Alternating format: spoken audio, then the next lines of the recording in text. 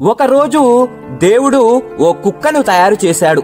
దేవుడన్నాడు రోజంతా ఇంటి ముందు కూర్చో ఎవరైనా తెలియని వాళ్ళు వస్తే అరువు.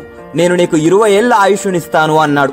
దానికి కుక్క స్వామి ఇదేం బాలేదు నేను అన్నేళ్ళు అరవలేను. కాబట్టి ఇదిగో పదేళ్ళు నీకు ఇచ్చేస్తాను. పదేళ్ళు మాత్రమే అరుస్తాను. సరేనా? అంది.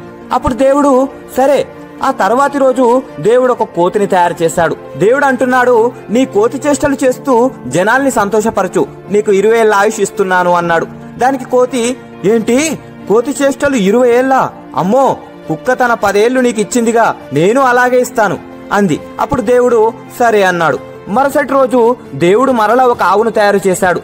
దేవుడు నువ్వు రైతుతో పాటు పొలానికెళ్ళి రోజంతా ఎండలో కష్టపడి సాయంత్రం పాలిస్తూ రైతుకు సహాయం చేయి. నీకు అరవై ఏళ్ళ ఆయుష్నిస్తాను అన్నాడు. దానికి ఆవు అరవై ఏళ్ళు ఈ గొడ్డు చాకరి నేను చేయలేను.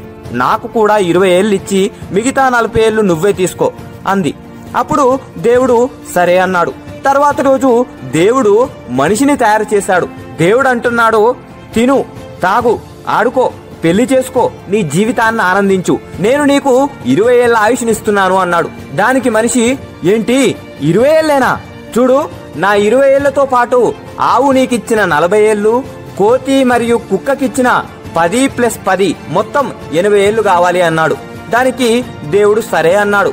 అందుకే మొదట ఇరవై ఏళ్ళు మనిషి తింటున్నాడు నిద్రపోతున్నాడు ఆడుకుంటున్నాడు ఆనందిస్తున్నాడు. తర్వాత నలభై ఏళ్ళు ఆవు చేస్తున్నట్టు తన కుటుంబానికి సహాయం చేయటానికి గొడ్డు చాకిరి చేస్తున్నాడు. ఆ తర్వాత పదేళ్ళు కోతి చేష్టలు చేస్తూ తన మనవళ్ళు మనవరాళ్ళని నవ్విస్తున్నాడు. తరువాత పదేళ్ళు ఇంటి ముందు కూర్చొని వచ్చే పోయే వాళ్ళని చూస్తూ అరుస్తూ ఉంటాడు. ఏం మనిషి జీవితం రా బాబు ఇది. లైఫ్లో అన్ని స్టేజ్లంటే ఇవే. జై హింద్.